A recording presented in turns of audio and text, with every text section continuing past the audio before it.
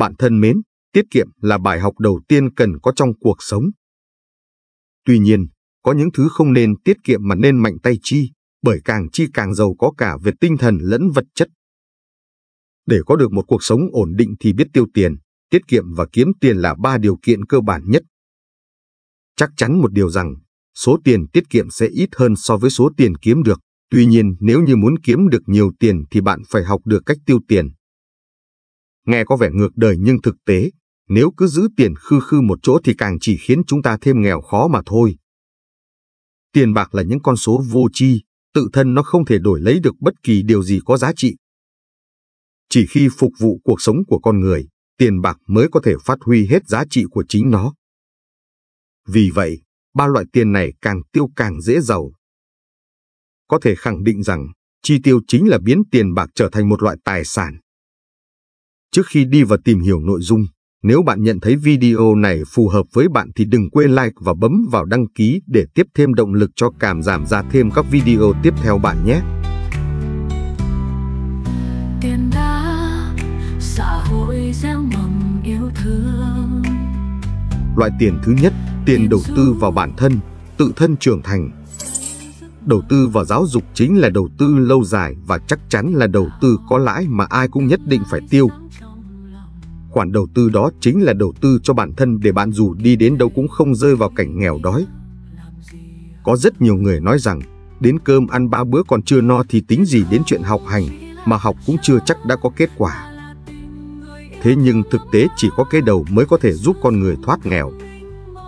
Nếu bộ não cũng nghèo nàn thì cả đời cũng khó có thể giàu có. Trên thực tế, nếu thực sự nghèo rất mồng tơi thì đầu óc chính là vốn liếng lớn nhất để tay không dựng cơ đồ. Thế nên càng cần đầu tư vào đó mới đúng, vì đầu não con người nghèo nàn nên cuộc đời cũng sẽ nghèo nàn theo. Nếu chỉ chăm chăm nhìn trước mắt mà không đứng trên cao một chút nhìn ra xa thì e rằng cả đời cũng khó có được cơ hội đổi đời. Đó cũng là lý do tại sao chúng ta thấy nhiều người cả đời khổ sở vì tiền, mãi mãi nhọc nhằn kiếm tiền mà lúc nào cũng thấy thiếu. Thực ra là vì họ không thấy rõ được sự thực. Những hoàn cảnh khốn khó trong cuộc đời chính là bài tập đời trước chúng ta chưa hoàn thành, nhất định phải dựa vào bản thân mày mò tự học hỏi thì mới có thể đột phá. Người thông minh hiểu được rằng, thông qua học tập, lấy kinh nghiệm của người khác làm tấm gương, từ đó xây nên con đường cho chính bản thân mình. Do đó tiền để học tập thì nhất định phải tiêu, dẫu có phải mượn tiền để đầu tư vào bản thân thì cũng đáng giá bởi vì nó nhất định sẽ có cánh cửa mở ra cho bạn bước vào trong đó để kiếm tiền. Nếu bạn đang phải đối diện với vấn đề nan giải của cuộc đời, thì có một điều nhất định cần nhớ, đó là vun trồng cho bản thân mình thì sẽ mãi mãi không bao giờ muộn, lúc nào cũng có thể bắt đầu. Sẽ có lúc bạn e sợ rằng đã tiêu quá nhiều tiền uổng phí. Nhưng bạn có biết, quan ải gian nan thực sự sẽ lớn hơn việc này hàng trăm hàng ngàn lần. Học phí cho học tập có thể thấy được, cũng có giới hạn, nhưng học phí phải trả trong trường đời lại có thể khiến chúng ta khuynh ra bại sản. Do đó, đều là phải học tập cả, chi bằng giao học phí cho người có trí tuệ để họ hướng dẫn chúng ta, chứ không nên vứt tiền vào trường đời có học phí cao ngất ngường. Bạn là người thông minh, nhất định sẽ lĩnh ngộ rõ đạo lý này. Loại tiền thứ hai, tiền hiếu thuận cha mẹ nhất định phải tiêu. Có lẽ có người cho rằng bản thân ăn mặc còn chưa đủ, còn nợ nần chồng chất, thật khó để có tiền báo hiếu cha mẹ. Cũng có người sẽ nói, nhà cũng không thiếu tiền, cha mẹ nói có đủ tiền tiêu rồi, không cần phải đem tiền về cho cha mẹ nữa. Bất kể là tình hình kinh tế của cha mẹ như thế nào, tiền hiếu thuận cha mẹ nhất định phải chi. Nghèo thế nào đi chăng nữa, mỗi tháng cũng phải dành ra một số tiền hiếu kính cha mẹ. Cha mẹ nghèo thế nào đi chăng nữa cũng vẫn nuôi dưỡng chúng ta trưởng thành. Thử nghĩ xem, cha mẹ có vì nợ nần, thiếu tiền mà không nuôi dưỡng chúng ta không? Cha mẹ dẫu nghèo thế nào đi chăng nữa vẫn nuôi nấng chúng ta trưởng thành, cho nên bây giờ chúng ta báo đáp cha mẹ cũng là việc nên làm. Hợp đạo nghĩa, sao có thể nói có tiền thì mới cho cha mẹ, không có tiền thì không phụng dưỡng sao? Thực ra có lẽ có người còn chưa biết, cha mẹ chính là thiên thời của chúng ta, tương tác giữa chúng ta và cha mẹ có thể tích lũy năng lượng của thiên thời, một người mà không có được thiên thời thì cả đời này làm việc gì cũng không thể nào thuận lợi được. hiếu thuận với cha mẹ đồng thời cũng chính là vì bản thân mình. Do đó nhìn từ góc độ khác, tiền hiếu thuận cha mẹ không chỉ là vì cha mẹ mà cũng là vì bản thân mình. Nếu bạn chưa tin, thì có thể quan sát hoàn cảnh xung quanh, xem những thanh niên thay nghề đổi chủ xoanh xoạch đó, có phải cũng là người không mấy hiếu thuận. Những người mà ngay từ khi còn trẻ, làm việc gì thì thất bại việc đó, làm gì cũng không thuận lợi, nhất định có khó khăn giao tiếp với cha mẹ. Có một khảo sát 500 doanh nhân lớn hàng đầu trên thế giới, kết quả cho thấy tất cả những doanh nhân đó đều là những người hiếu thuận với cha mẹ. Xin hãy ghi nhớ mãi mãi rằng, cho dù chúng ta có nợ nần chồng chất thì tiền hiếu thuận cha mẹ tuyệt đối không nên tiết kiệm. Cho dù cuộc đời chúng ta đang ở giai đoạn nào, cho dù chúng ta đang gặp quan nạn gì, thì tiền hiếu thuận cha mẹ cũng tuyệt đối không được tiết kiệm. Thậm chí đến mức không còn khả năng kiếm tiền hoặc không có thu nhập, không còn cách nào để có tiền hiếu kính cha mẹ, thì cũng phải ghi nhớ, chí ít cũng phải thuận theo trời. Khi chúng ta với cha mẹ có ý kiến bất đồng, hết sức nhu thuận, bình hòa để giao tiếp với cha mẹ. Loại tiền thứ ba, tiền báo đáp nhất định phải tiêu. Bao gồm báo đáp xã hội và báo đáp những người xung quanh mình, để những suy nghĩ của mình tuần hoàn trong vòng tích cực. Nếu báo đáp có khó khăn, vậy thì một phong kẹo cao su 5.000 đồng ắt sẽ mua được. Khi nhìn thấy những người đang vất vả vật lộn với cuộc sống, nhất định phải có lòng kính trọng và xót thương. Hãy thử nghĩ xem, có lẽ một chút xíu tiêu dùng của mình lại có thể là bữa ngon lành và niềm vui của cả gia đình họ. Khi ý niệm của chúng ta tuần hoàn trong vòng tròn tích cực, thì mấy chục nghìn mà chúng ta hào phóng bỏ ra, lại có công đức ngang bằng với hàng trăm triệu, hàng tỷ đồng của các thương nhân giàu có. Nếu bạn là một ông chủ giỏi kiếm tiền, thì chớ quên thành công của ngày hôm nay là thành quả của các nhân viên trung lưng đấu cật dốc sức, vậy nên báo đáp họ là việc nên làm. Ví dụ một số công ty thường đề ra một tỷ lệ lãi suất nhất định để báo đáp nhân viên, làm quỹ phúc lợi, việc này rất đáng được ngợi ca. Những ông chủ đó biết rằng, số tiền đó là tuần hoàn, cuối cùng nhất định sẽ báo đáp quay về chỗ ban đầu. Bất kể là nghèo đến mức nào, trên đời vẫn có người bất hạnh hơn mình. Nếu bạn thực sự nghèo rớt mùng tơi, thực sự không có cách nào dùng tiền để báo đáp, thế thì bạn hãy báo đáp công ty, đơn vị của mình đi. Thử nghĩ, hiện nay kinh tế không khởi sắc, bất kể là lương kém thế nào, lượng công việc nhiều ra sao, chí ít cũng để chúng ta có thu nhập đủ no bụng.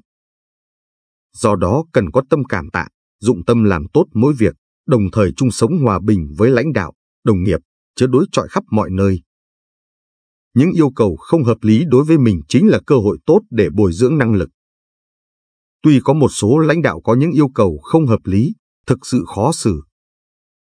Chỉ cần thay đổi góc độ, coi nó là cơ hội tốt tôi luyện năng lực và tu dưỡng bản thân, thì đó cũng là một loại thu hoạch. Có câu cổ ngữ rằng, yêu cầu hợp lý là huấn luyện, yêu cầu bất hợp lý là rèn luyện, kỳ thực cũng không phải là không có đạo lý. Hơn nữa mỗi một lãnh đạo đều từ thấp nhất dần dần đi lên. Để làm được lãnh đạo của bạn, cho dù là dựa vào quan hệ, dựa vào bối cảnh, thì cũng là một phần phúc phận trong đường đời sinh mệnh mà ông ấy có được. Nghĩ được như thế thì sẽ không còn oán hận, ca thán bất bình nữa. Bạn đối xử với lãnh đạo như thế nào thì cấp dưới của bạn sẽ đối xử với bạn như thế. Ngược lại, khi bạn không cách nào làm được một cấp dưới tròn chức trách, thì vĩnh viễn sẽ không thể nào làm cấp trên. Đây chính là định luật tương đối ở chốn nhân gian. Thực ra cấp trên của bạn cũng được coi là quý nhân của bạn. Do đó bất luận thế nào, cần dùng các góc độ khác nhau để suy nghĩ tìm tòi cách tương tác giữa bạn và lãnh đạo. Dùng một nụ cười cũng có thể báo đáp xã hội, nói nhiều lời đẹp, làm nhiều việc tốt. Chỉ một nụ cười, một lời khen chân thành, cũng sẽ khiến người ta cảm thấy niềm vui khi ở bên bạn, đó cũng là một loại báo đáp.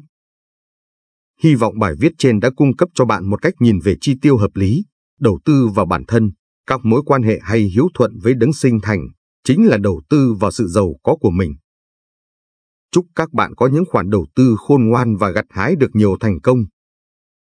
Và tôi là cảm giảm trong chuỗi hành trình khám phá khai mở tâm nhãn.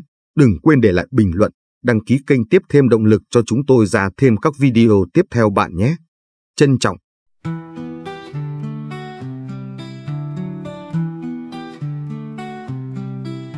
đầu tư cho bản thân tăng giá trị Kèm mua kiến thức, mở lòng trí tuệ tiền chăm sóc sức khỏe sống dài lâu tiền tìm niềm vui mỗi ngày sáng.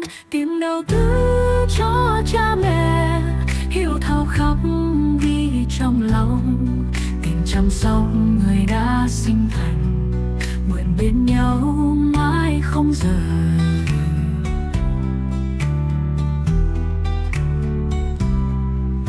Tiền đã xã hội gieo mầm yêu thương. Tiền du, cộng đồng xây giấc mơ. Tiền tạo tương lai sáng trong lòng.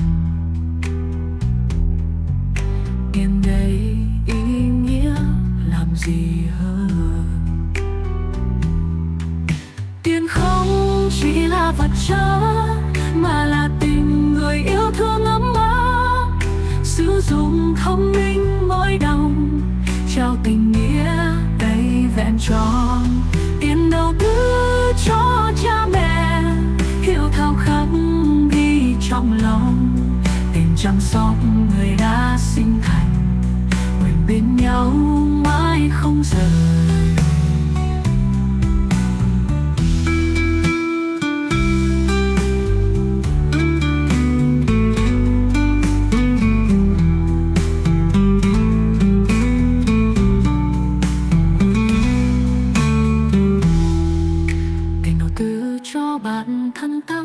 giá trị tiền mua kiến thức, mở lòng trí tuệ kiền chăm sóc sức khỏe sống dài lâu kiền tìm niềm vui mỗi ngày sáng. Tiền đầu tư cho cha mẹ, hiểu thao khắc ghi trong lòng tiền chăm sóc người đã sinh thành. Nguyện bên nhau mãi không rời